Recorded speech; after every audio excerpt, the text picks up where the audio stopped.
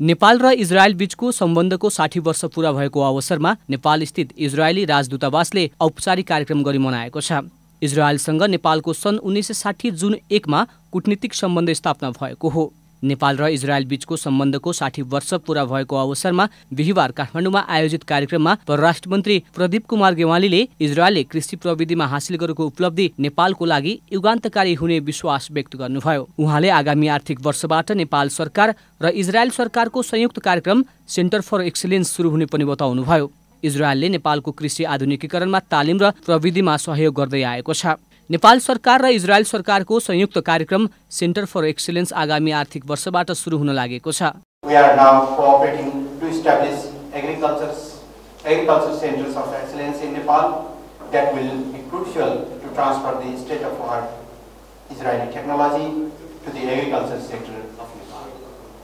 Such cooperation will support the government of Nepal's endeavor to modernize agriculture sector as well as improve productivity and strengthen capacity of human resources.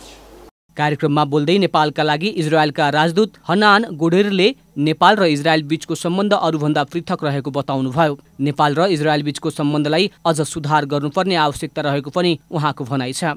दुई देश बीचमा साझा चुनौती रहेको भन्दै उहाँले नेपाललाई जहिले पनि सहयोग गर्न तयार रहेको बताउनुभयो। Israel has no global interests in Nepal, is the same when we talk about Nepal's interest in Israel.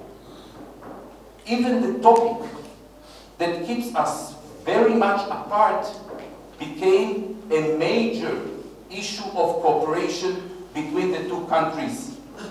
And I talk about, you can see on the stamps, and I talk about the alliance that we have made, we have created between Mount Everest, Sagabata, and the Dead Sea, the highest and the lowest. उन्नाइस सय साठीमा कुटनीतिक सम्बन्ध स्थापना भए लगत्तै March उन्नाइस सय एकसठीमा इजरायलले नेपालमा आफ्नो दूतावास स्थापना गरेको थियो। अहिले लाजिमपाटमा रहेको दूतावास साठी वर्षदेखि निरन्तर एकै स्थान र घरमा छ।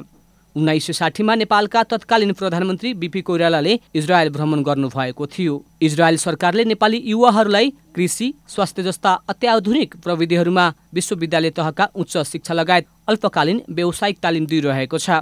यसै वर्षदेखि केयर गिभरको रूपमा कामदार लैजाने भएको छ।